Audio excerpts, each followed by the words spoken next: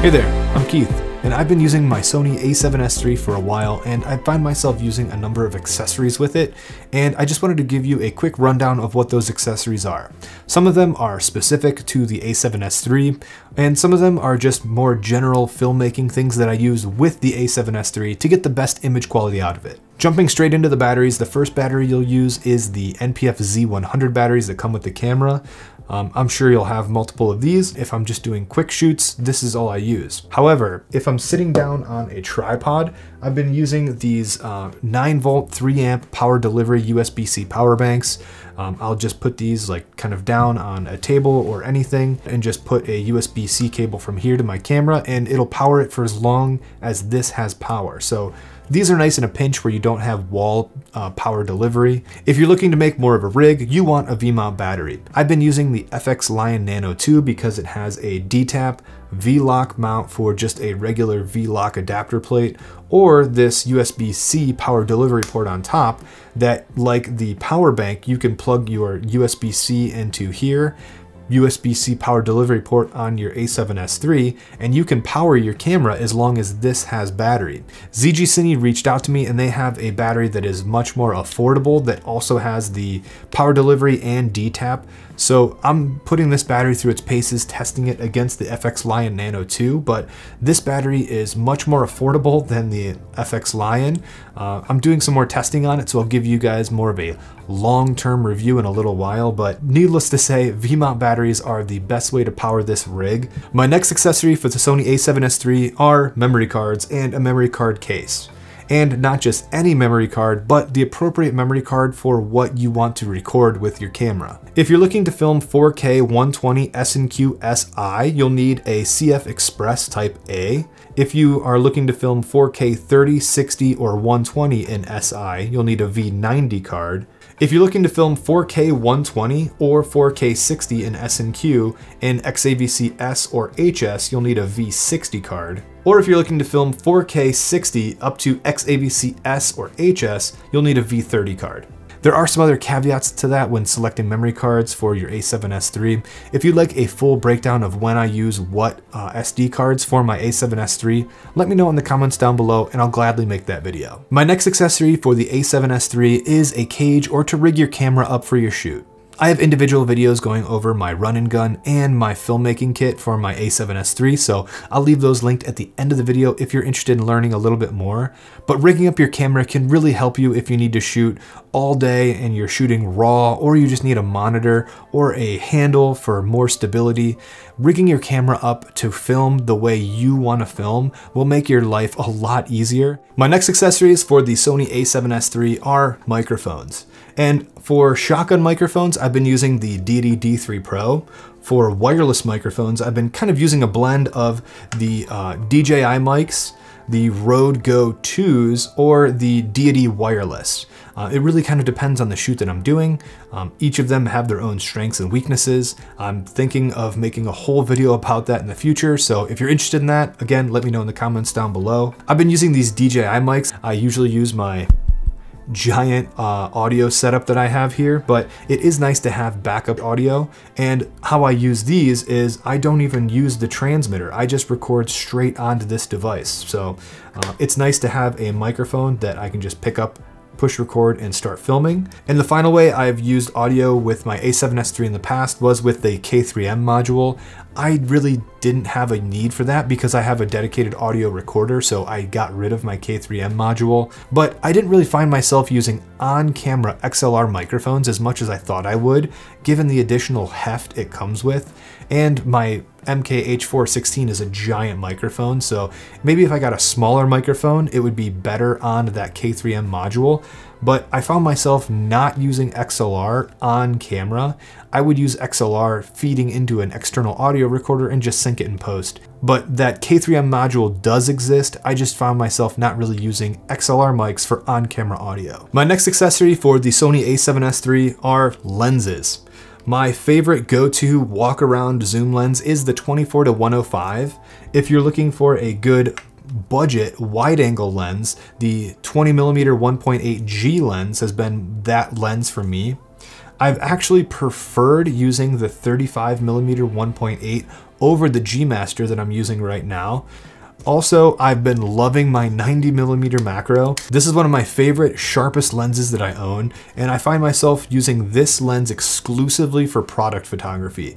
This lens is so clinically sharp, sometimes people think they're 3D renders if the lighting is correct. One of the funnest lenses to use though is the 50mm 1.2. I have videos going over the 50mm 1.2, so I'll leave a link to that at the end as well. I should probably do a video on why I like all of these lenses so much with my a7S III, but just for the purpose of this video and speed, these are the lenses that I find myself gravitating to when it comes to price and performance. My sixth accessory for the Sony a7S III are gimbals. I find myself gravitating toward DJI gimbals, specifically with the screen, uh, being the RS2 and the RS3 Pro. I have more videos about the RS3 coming out soon, but I have a couple of RS2 videos that I will link in the description down below.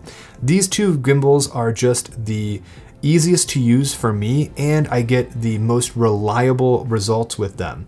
I've used a couple of Zhiyun and other brands of gimbals, but when it comes to ease of use and simplicity and reliability, I find myself using the RS2 and now the RS3 Pro. I'll just leave these on the desk because my next accessory is in use right now. My next accessory is a monitor or multiple monitors. I've been using the Atomos Ninja 5 and the Feelworld LUT 7. The Ninja 5 can film ProRes RAW, and the LUT 7 is just a big, bright 7-inch monitor that can also have LUTs on it like the Ninja 5 can. When it comes to filming an S-Log 3, there are a lot of in-camera helpful tools that you can use, but at the end of the day, if you can just bake your LUT onto your monitor and preview how your footage is going to look when you put it in post, I found that is the most easiest and reliable way to properly expose your S-Log3 footage.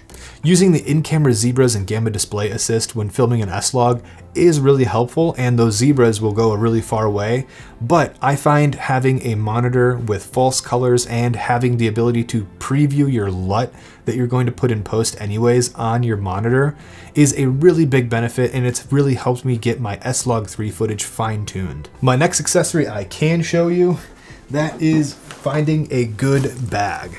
This is my Lowepro 450AW that I've showed off in a couple of different accessory videos now, but it has stood the test of time and I've taken this all over the world with me and it has not broken or let any of the contents be damaged. If you're looking for something a little more lightweight, I do like taking my Peak Design sling bag or messenger bag around. This is the larger one, and I find I can fit a body with a lens on it, a drone like the Mavic Air 2S, and another lens and maybe even a couple of chargers uh, in here and it really packs very well and there's additional storage for cables and all kinds of pens and masks. Speaking of Peak Design, my next accessory for my a7S III is my Peak Design's camera sling. And this has been nice to hold my camera. Um, it's a little sturdier than the one that comes with your um, camera itself. And my favorite part is that it comes with those little red discs that allow you to quickly attach and detach your camera to this strap. The camera strap is really nice, it's like a seatbelt material, but that quick release system for taking your camera on and off of this strap really takes it to the next level. Peak Design also has a number of other accessories you can use with those uh, quick release plates. I haven't used any of them, but I've taken that strap around the world with me and it has been durable and held up and it still looks brand new. So um, I definitely would recommend that Peak Design sling strap. My 10th accessory for the Sony a7S III is storage. Lots of storage. After I'm done shooting something, I'll come back into the studio and usually put it onto my Windows machine, and I'll also put it onto my Samsung just as a backup. However, I do have the flexibility to put the save file to my T7 drive and then you know take it uh, to the office or to the field and edit it in there with my MacBook Pro. So having a SSD is not only going to make your transfer speeds faster when just backing up projects in general, but it'll also be able to edit off of in the field as well. However, whenever I'm done with a project or if I have multiple projects that are just too big for one T7 drive, I'll move them onto a platter drive. This is more of like a long-term solution. Since these are a little slower, they are uh, kind of difficult to edit off of. You can do it. So for me, these are more long-term storage. After I'm done with a project, I'll put it on here and then delete it off of my machine and off of here. So I have a ton of these drives and how I choose these, um, it's not very scientific. I just go on Amazon and find the cheapest drive with the most capacity in this form factor because it's easy to have a ton of these and stack them up. Uh, I've been using the WD Black drives, the Toshiba drives, and the, they're like called My Passport drives. Those are usually the best bang for your buck. Um, I have had one drive fail on me over the year, only one. So uh, if you have really important projects, I'll back them up on two different drives like this. But if they're these like YouTube videos or like really casual videos, then I'll just back it up once and that's okay. So I wrote down more than 10 accessories, but this last one um, is true for all filmmaking, but my 11th accessory is lights. The a7S III is really good at low light, and the low light capabilities shouldn't be mistaken for just owning lights and positioning them how you want your image to look. The a7S III is fantastic in low light, but there really is no replacement for having good quality lights to begin with. Some more rapid fire accessories for the a7S III is a tripod, a beefy tripod. I have a video coming up all about uh, tripods that I use, so uh, be sure to subscribe for that video in the future. But also the uh, Sony shooting grip with wireless remote commander. Um, I had that and used it, I lost it, and I have been looking for it all the time. It's nice to just have a remote to quickly do some operations on the camera, especially when you're filming yourself. Also, a really valuable accessory for the a7S III is sensor swabs and microfiber cloths and rocket blowers you definitely have to be really careful whenever you're switching lenses on these Sony full frame cameras because the sensor is right behind the glass whenever you're doing a lens swap. So if you have any amount of dust in your room and you go to do a lens change, you can potentially get dust on your sensor and ruin a lot of your shots. So always being very deliberate with all of your lens changes and keeping everything as clean as possible will help you get the best image possible. So those are my accessories for the Sony a7S III. And if you enjoyed this video, I have other Sony videos that I'll leave on screen now. I just want to say thank you guys for sticking around to the end, and I'll see you in the next one.